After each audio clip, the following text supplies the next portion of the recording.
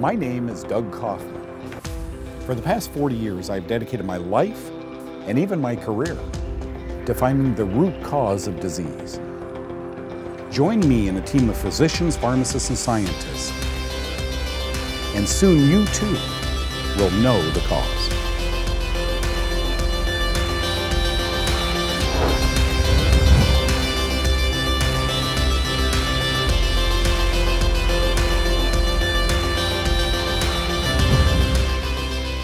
You know, we talk a lot on the show. As a matter of fact, we dedicate this show to the problems caused by fungus and their byproducts. These are called mycotoxins. And we've talked about cancer. We've done whole shows, right, on gallbladder disease and kidney disease and pancreatic disease and heart disease and skin disease. And we've run from big toes to hair loss caused by fungus. But there's one disease we haven't touched on, and I want to today, and I want to set this up a little bit differently. So, in the next, oh, 20 minutes from now or so, you'll know what that disease is, but I want to lead into it. Many of you know I was a hospital corpsman, graduated from corpsman school, or as our president says, corpsman school, uh, back in 19, oh boy, I'm going to date myself, 68 or 69. And then they trained us for a year. I was in the operating room, a technician, and in anesthesia, a technician. and then a bunch of us got our orders, and off we went to Vietnam. One of the most horrible things we could hear in Vietnam uh, was corpsman up. What that meant was somebody was shot, you know, and, and they needed a corpsman to go to the aid of one of the Marines. I was with the 7th Marine Division. Incredible men and women uh, that were in the field, you know, with us in the operating rooms and so forth. Uh, but corpsman up, wow, that was tough to hear because your heart started beating. We wouldn't change clothes for a long period of time. We wore green underwear, green socks, green, you know, camouflaged outfits and so forth, hats, helmets, uh, flak jackets, the whole number. we ate sea rats.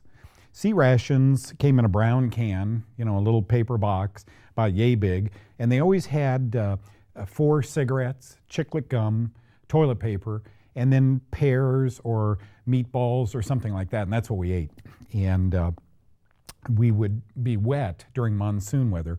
We would be wet from morning till night. Sometimes we got a three hour reprieve from all the rain, but it, it wasn't like you and I know rain.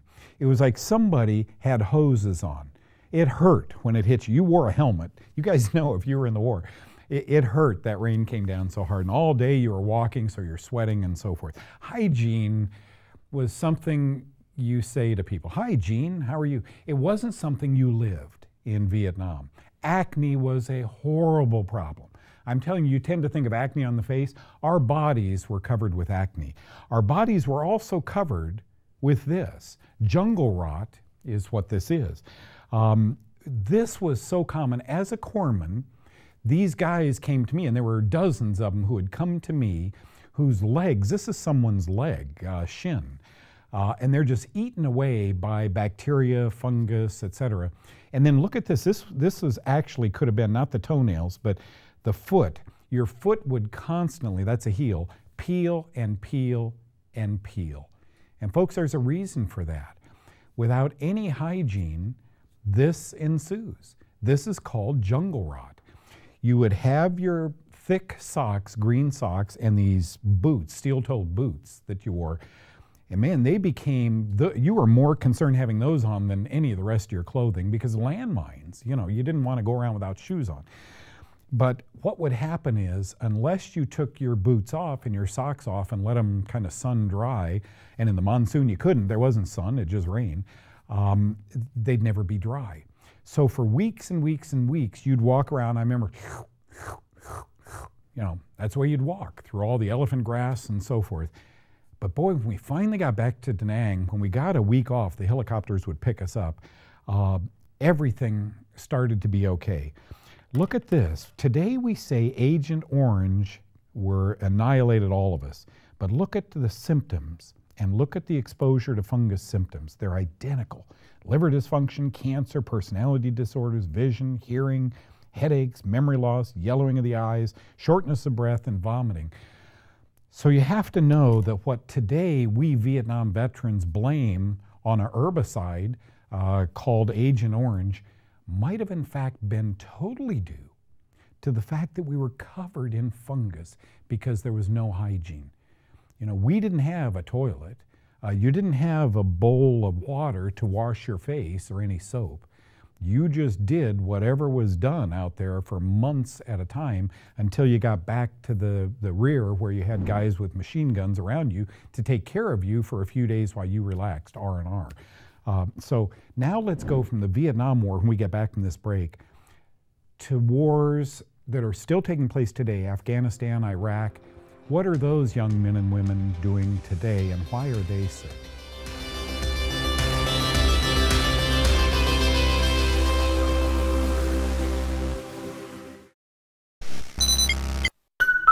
Diabetes is epidemic with your immune cells mistakenly attack your own body.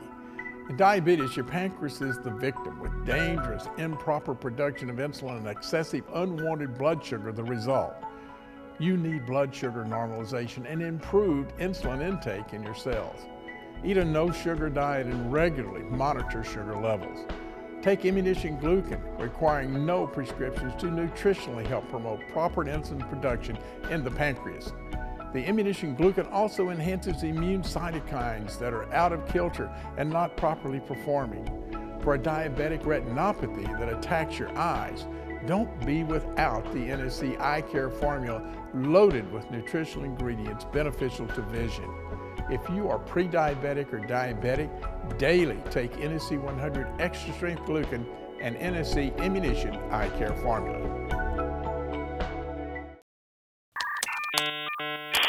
Which of my books fits you?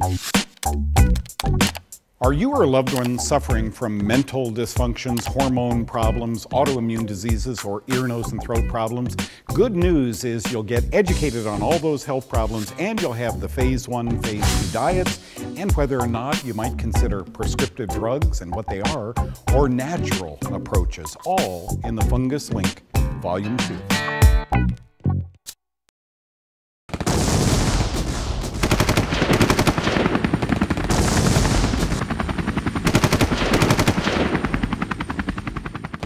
So before we transition into the next set of wars, Afghanistan, Iraq, and so forth, uh, let's go backwards even beyond Vietnam. It was really during the Korean conflict that many of the things you see today began to happen out in the field, right? Today they happen in the highways. I was on the way to the hospital where I worked, oh, 20 years ago, and they had the whole freeway blocked off, five lanes, the 635 freeway here in Dallas.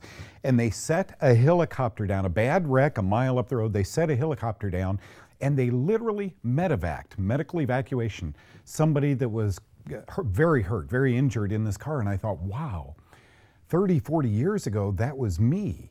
A helicopter would land, we'd call it in and say, this guy's missing an arm, he's hurting, and boy, it was wild out there.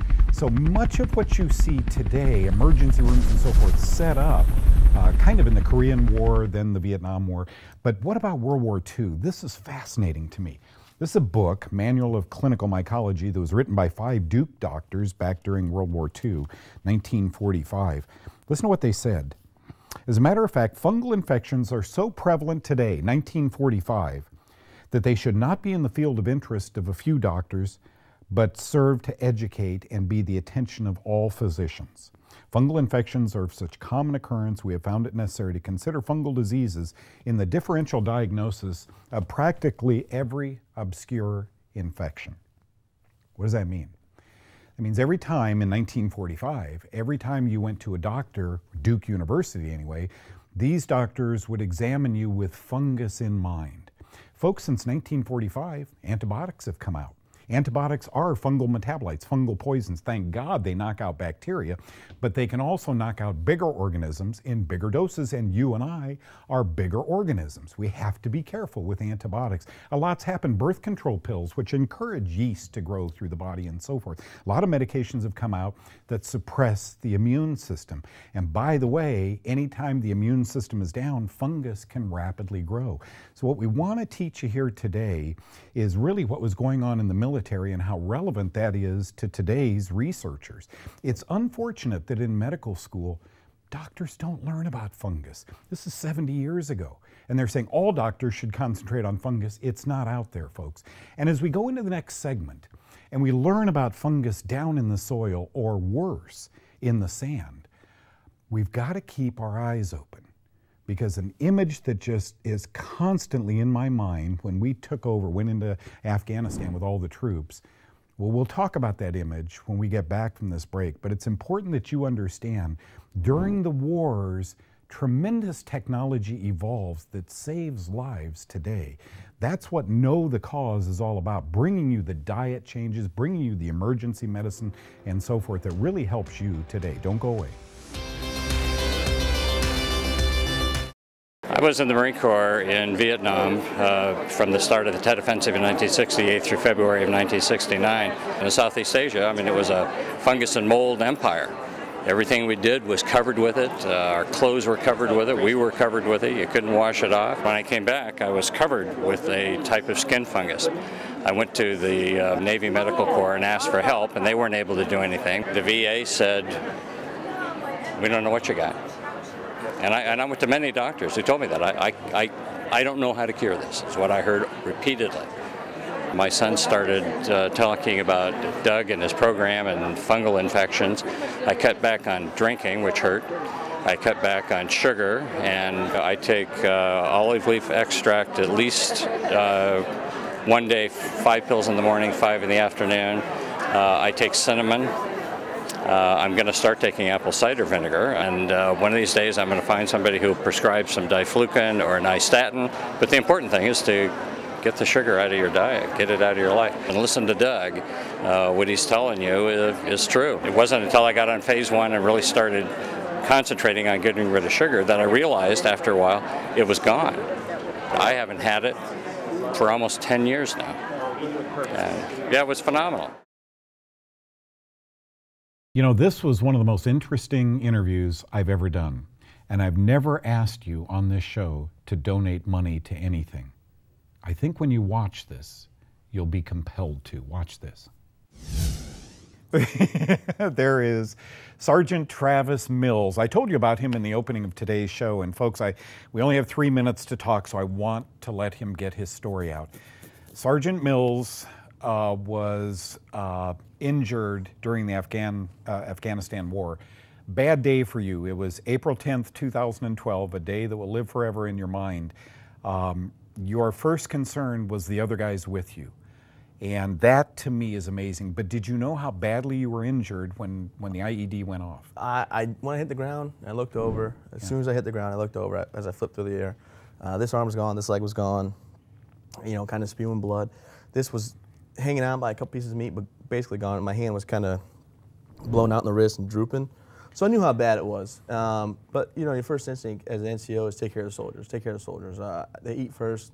You know, they get more rest than you. They, even though like they work for you, you really work for them. So shrapnel. There was a lot of shrapnel. A lot of shrapnel. Um, and and I had two guys I knew had, were near me enough to get hit. So I was just yelling at the medic, "Get away from me! Leave me alone! Um, take care of my guys." And they were the medic was telling me in turn, "Be quiet. Let me do my job." And of course, I'm paraphrasing, but right, exactly. Uh, a lot going on. You know, be quiet. Let me do my job, and they're fine. And then about 40, 40 seconds into it, they yelled back. Two guys got hurt yelled back. They're okay. So I just good. Oh, okay, cool. You guys are all medevaced. Um, four days later, you wake up in Germany on your 25th birthday. Yeah. A friend is cleaning your rings, right? That he's ready to hand to you, uh, wedding ring, and uh, they say happy birthday you don't, yeah. you know, you lost your arms and your legs. I think they saved the happy birthday for after I, I woke up. Because uh, I asked, first of all, my soldiers, how are they doing? And he told me, he gave me the update. Then I said, am I paralyzed? And he said, no. And I said, hey, you know, guys, you're fine. I'm fine. You, I can take it. Just let me know. And he had to tell me, like, no, you, you're not paralyzed, but you don't have your arms and legs. And then I just kind of drifted back off to a little more rest. Travis, recently I've sat down with a couple of people in my office who have cried because their cancer is back or their stomach hurts so bad or their head hurts so bad. And I really wanted this audience, I love this audience, uh, and I wanted this audience to meet you because you seem to have an attitude that is like none other I've ever seen. Uh, I appreciate that. Thanks, you know, for the compliment, uh, as I'm going to take it as one. Um, really, I just my my wife and child are still here. Uh, I'm still here. Um, very fortunate. My problems are no more, you know, greater than anybody else's. I don't think, and that's that's horrible. People have the, the cancer that comes back, or mm-hmm. tumors, or you know, things doctors don't even know about um, why they're sick, and that's that's too bad. But every day here, you got to keep moving forward and keep a positive attitude. You know, everybody's like, oh, it could be worse, but for me, it's more like it, it's going to get better. There's a Traver, uh, Travis Mills Foundation. It's travismills.org. And Lee Ann uh, Billings, who wrote this book, remember the mold book? We had she and Kurt, her husband, on uh, quite a few years ago. Wonderful book. She has written these books that when you donate, I don't know, it's nine, ten dollars mm-hmm. to the Travis Mills uh, Foundation, uh, he will get some of those proceeds. And guess what this man is doing? He's not going out and buying a new car. He's giving that money to other soldiers who have lost their lives or limbs and have families, daughters, sons that need the help. Thank you for all you do. It's really, you're, you're one of my heroes. Thank you, Travis. Thank you for having me. I appreciate you. Help me get the, uh, the story out. You bet. Hi, I'm Suzy Cohen, author of The 24-Hour Pharmacist, and I only recommend Dr. Ohhira's probiotics. You see, most probiotic products contain billions of freeze-dried bacteria, but that can aggravate bloating and gas. Dr. Ohhira's provides only live beneficial bacteria, plus their prebiotic nutrition. It supports noticeable digestive comfort. I believe in Dr. Ohhira's consistent results. It takes guts to feel great.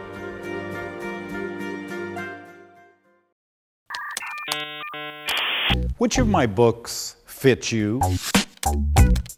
Can you cook your way to wellness? Can You Eat Your Way to Wellness? That's the name of a couple of books I've written Cooking Your Way to Good Health or Eating Your Way to Good Health. Loaded with recipes, whether you want to follow the Phase 1 diet or the Phase 2 diet. Please your families with good tasting foods, all put together in these two great recipe books.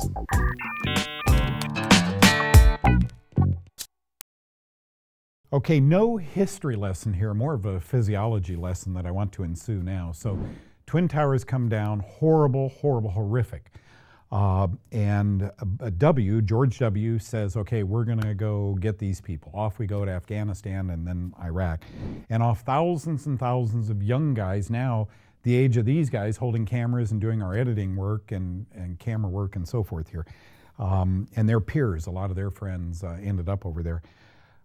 But you recall what you saw on television when war was declared. You see the troops landing, and then this isn't the greatest picture I could have gotten, but did you see this? You know what's right below, you know, five from ground to two or three hundred feet? Dust. And I remember the troops landing in these big uh, amphibious things, and, and I remember the helicopters, the CH 46s dropping the guys off, and so forth. I'm watching on TV, and I'm thinking, wow, every one of those young 20 somethings, men and women, are inhaling dust. Okay? So go back with me to the 1930s and 1940s. This is an old medical textbook. And this old medical textbook talked about 10 of 14 people that developed valley fever following the inhalation of desert dust raised in an attempt to dig a rattlesnake out of its hole. 10 of 14 people got into dust and they got really, really sick. And so these scientists in the 1940s, this book, by the way, comes out of Johns Hopkins Medical School. It was Dr. David Weekley's medical textbook, 1957. But it talks about in the 30s and 40s, they went out and cultured. They took cultures like, uh, like you know, these ear cleaners, and they go out in the dust and they stir up some of it, and then they go back to a laboratory and grow it. and it's something called Coccidio immitis, right? The spore, the fungus, is called Coccidio immitis. The disease that ensued in those 10 of 14 people was called coccidioidomycosis. And I don't think this is rare today. And in this same book, they talked about how that fungus primarily, they inhaled it. It went to their lungs, but then it metastasizes or disseminates like that. The lungs, as you know, are a very, very bloody area of your body, lots of veins, arteries, capillaries, and so forth. So in goes the coccidio immitis, the mold, and there it goes. You can walk away from that rattlesnake hole all you want, but it's sticky and it's growing in your lungs. And pretty soon, you can't breathe. And it looks like asthma, it looks like today chronic obstructive pulmonary disease, COPD, and it looks like emphysema, but you never smoked a day in your life right? But did you live in a moldy home with some of this mold in it? I'm watching these young 20 and 30 somethings breathing all of this. And then they come home, and the list was endless. Many of them, I'd say the majority of them, have PTSD, post traumatic stress disorder. By the way, that's a head thing. I went to Vietnam when I was 20 years old. I came home when I was 21. I was not the same guy. I'm telling you, I didn't feel well. My skin was bleeding. I had these things like you saw sores all over my body, etc. Those have all healed. My brain is healed. I met a great gal, had two sons. They have families now. Happiest man in the world. But not everybody gets through that. Some guys end up with post traumatic stress disorder. Some ended up with gastroenteritis and other gut problems, right? Some ended up, many of them ended up with respiratory disorders. And then so many of them ended up with coccidioidiomycosis or breathing in that fungus. That's the disease I want to teach you about on today's show.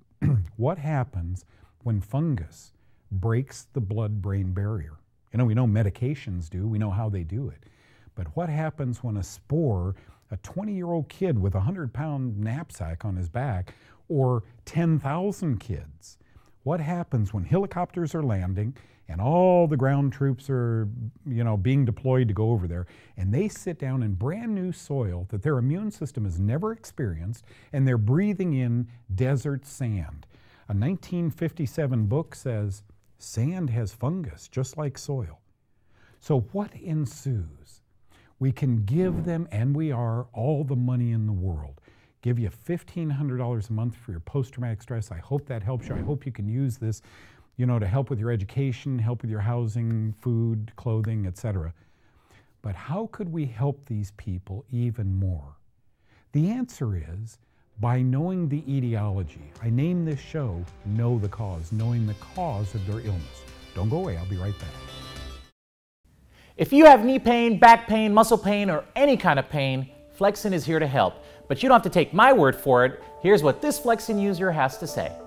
Well, I recommend Flexin because it has worked so well for my wife and I, and we are able to continue our work uh, pain free as a result of taking this product faithfully. You've seen Flexin on Know the Cause with Doug Kaufmann. Now's your chance to take advantage of this great offer. It's buy one, get one free, but you have to call right now. Call 1 800 END PAIN.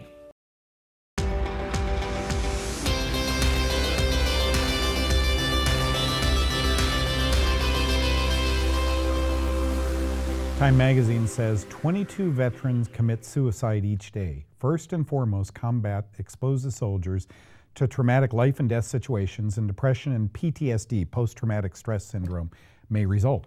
Other soldiers return with brain injuries. All of these ailments have been linked to an increased risk of suicide. So, what we have here, folks, is another disease that we don't talk about on Know the Cause. We talk a lot about heart disease, blood disease, cancer, etc. We don't talk about this one. This one is called depression and it's bad, right? Post traumatic stress. I am depressed all the time. I'm blue. I'm not the same guy or gal I went over to Iraq as. I came home totally different. I read with fascination. It's on the internet. It's USA Today. Um, what was the date? 5 11 2011. 5 11 2011 one man's hypothesis see, this guy was in the war and he came back different. And he interviewed an anesthesiologist, a female anesthesiologist that worked over there helping the wounded. She came home a totally different person. And what he did was went back and with those Q-tips, you know, he dug up a little sand and he found bacteria and other organisms, virus and shh, fungus. It's always fungus that gets a little bit of fungus can't hurt anybody. It's the bacteria. Why aren't we putting seriously depressed pre suicidal men and women on antibiotics? Antibiotics kill bacteria. It doesn't work. As a matter of fact, it may hasten their demise. Folks, all you need with a bowl full of yeast, right, is to sprinkle a little antibiotic on it, and poof, there it goes, man, fuel for the yeast. This depression is so bad. We're talking about 22 soldiers a day coming home from war. That doesn't even touch on all the other school students, moms, dads, etc., friends of ours who commit suicide. This is a huge problem, and yet, isn't it ironic? We are taking more antidepressant medicine than we ever have in the history of this great country. Doctors really believe a new antidepressant is going to fix this. Gee, if all these kids coming home from overseas could just take you name it. I can't even pronounce the name of these things, but they're rapidly producing them because we care about our soldiers. I care about our soldiers too because I was one. If you do me a favor, guys and gals who are in Iraq and in Afghanistan and you're at home watching this right now, or your loved one is, your mom or dad, and you're really feeling down, the best thing I can tell you is change. Just a few letters C H A N G E, six letters. You are craving carbohydrates. Man, you can't eat enough cereal, enough bread, enough pasta. You're craving potatoes. You're craving alcohol, trying to bury your wounds. You don't understand. Science tells us, well, you're drinking because you're under so much stress. No, you're not. You're drinking because yeast is now growing in your brain and through your bloodstream, and it's dictating your behavior. That's why you're drinking. It's physiological, it's not psychological. And then they tell us you have this horrible psychological problem that only their drugs and doctors can take care of. Guys, I handle it myself. So many of you have. If you'll change your diet, and stay away from sugars and alcohol and fast foods and drink juices, you know, good stuff, not packaged stuff that's been there a long time. Go to a juice bar, have them make it fresh. Start taking herbs, all of which are antifungal. Watch how you feel 10 days from now. You will realize that what happened to you was those sandstorms got into your lungs, have now grown into your brain, and you cry each and every day. Does it have to be like that? Medical science says, nope, here's a pill. That doesn't work, go to another doctor. He'll give you another pill. I'm saying you have more control than you know in the palm of your hand.